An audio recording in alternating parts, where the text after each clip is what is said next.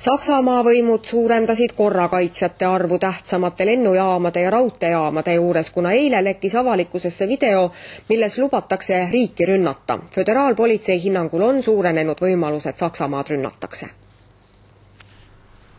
järgmisel pühapäeval toimuvate üldvalimiste eel äärmuslaste veebilehtedesse ilmunud videosalvestuses soovitab Abu Talaks kutsutud mees Saksa moslemitel vältida avalikke kohti kahe nädala jooksul pärast valimisi kahe tuhande seitsmendal aastal Pakistani kolinud Saksa kodanik on võimudele tuttav juba varasematest äärmuslastega seotud uurimistest. oma ligi kolmekümneminutilises videos ähvardab ta rünnakutega juhul, kui Afganistanis viibivaid Saksa sõdureid koju ei tooda.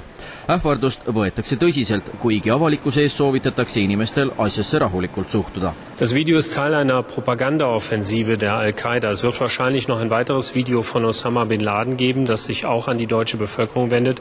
Aber es ist Propaganda, mehr nicht. Das sagen uns die Sicherheitsbehörden. Sie haben die Sicherheitsmaßnahmen verschärft. Man muss so etwas immer ernst nehmen, aber sie haben keinerlei konkreten Hinweise darauf, dass wirklich Anschläge in Deutschland bevorstehen könnten. Bonni lähedal sündinud Bekai Harrash on Saksa võimude andmel Al-Qaeda juhtkonna kesktaseme juht, kes arvatavasti kuulub välismaal korraldatavate rünnakute planeerimiskomisjoni. Der Spiegeli valitsusallikate sõnul näitab jälgimisinfo, et Al-Qaeda kavandab terrorirünnakut Saksamaal. Al-Qaeda toetajad on rääkinud internetis peatsest Saksamaa üheteistkümnendast septembrist ning USA valitsuse andmeil on Põhja-Aafrika Al-Qaeda rühmitus saanud Pakistani keskusest käsu võtta sakslasi pantvangi, et nõuda Saksa sõdurite Afganistanist väljaviimist.